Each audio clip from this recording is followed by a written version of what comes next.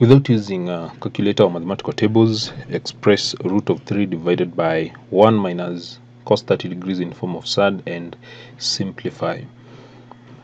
Now, when you look at this um, expression, root 3 divided by 1 cosine 30 degrees, one thing that we need to express in form of surd is cosine of 30 degrees. So cosine of 30. So cosine of 30 degrees. And to do this, we shall use um, an equilateral triangle of sides 2 units. So let me just uh, sketch it here. So an equilateral triangle that has got uh, sides of 2 units. Then you divide it like this into 2. So this angle will be 60 and this one since it's divided into 2 will be 30 degrees. Then the, this side will be 1, 1 and then we shall have the height is root 3 this one should give us uh, the cosine of 30 so using the trigonometric ratios uh, cosine of 30 uh, we are looking at this angle. So cosine of this angle will be given by um, adjacent of uh, the hypotenuse. Adjacent is root 3 the hypotenuse is uh, 2 so we have expressed the cosine of 30 in form of sine that is uh, root 3 divided by 2 so we now write uh, the expression here.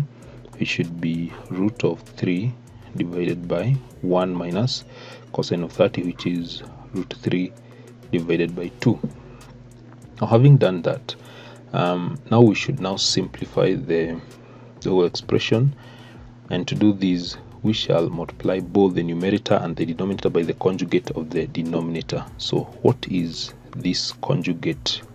So the conjugate of the denominator. So when you look at the denominator it is 1 minus root 3 over 2 its conjugate will therefore be uh, so it will be 1 plus root 3 divided by 2 so this is what we should use now to multiply both the numerator and the denominator in order to simplify these. So let us multiply both the numerator and the denominator by this conjugate. So root of 3 multiply by uh, the conjugate is 1 plus root 3 over 2 1 plus root 3 over 2 then the denominator is 1 minus root 3 over 2 we multiply with its conjugate which is 1 over root 3 over 2 so we begin with the numerator. Uh, for the numerator we just open the brackets. Root 3 multiplied by 1 is uh, root 3 then plus root 3 times root 3 over 2 will give root 9 over 2 and root 9 is 3 so that will give 3 over 2 then for the uh, denominator uh, for the denominator this one is a difference of two squares. 1 minus root 3 over 2 into brackets 1 plus root 3 over 2 it is a difference of two squares. So you need to recall these a squared minus b squared. When you simplify that you get a plus b. When you factorize that is a minus b. So when you look at these uh, these will simplify to that is 1 minus root 3 over 2 multiplied by 1 plus root 3 over 2 will simplify to 1 squared minus root 3 over 2 squared. And these uh, should give 1 minus root 3 uh, over 2 squared. Root 3 squared is uh, 3 then 2 squared is uh, 4 and these uh, will give 1 minus 3 quarter.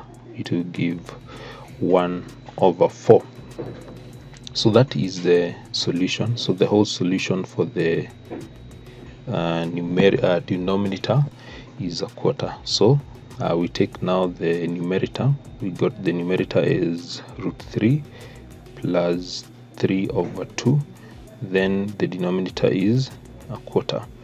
Now to simplify these uh, we just simply need to get rid of the denominator and to do that we just multiply each term by 4 so if we multiply root 3 times 4 we get 4 root 3 and then um, when we multiply 3 over 2 by 4 we get 6 and then for the denominator we multiply 1 over 4